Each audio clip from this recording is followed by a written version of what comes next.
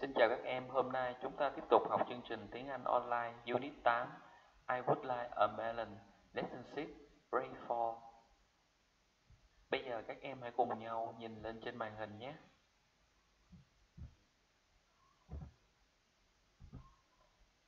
Number one, listen and write A or B. For example, number one, B. And you can write two, three, four, five, six, A or B. Now you can listen. Listening 79. Listen and write A or B. 1, Hello. Can I help you? Oh, yes. I'd like a lemon, please. Okay, here you are. Thank you. 2, Hello. Can I help you? Yes, please. I'd like some meat. Is this meat okay?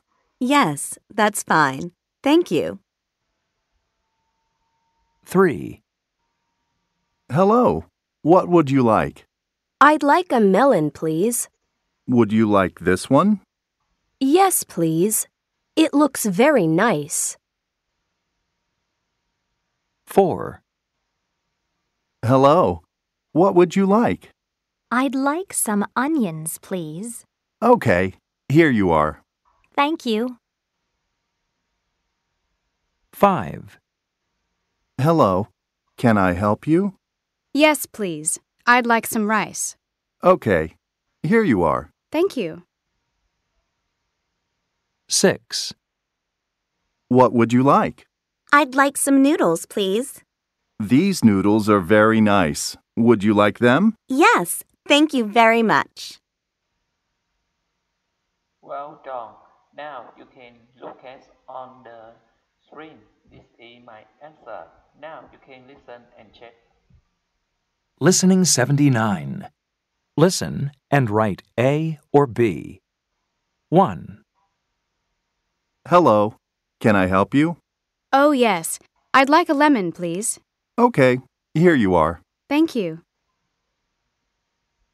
2, Hello. Can I help you? Yes, please. I'd like some meat. Is this meat okay? Yes, that's fine. Thank you. 3, Hello. What would you like? I'd like a melon, please. Would you like this one? Yes, please. It looks very nice. 4, Hello. What would you like? I'd like some onions, please. Okay, here you are. Thank you.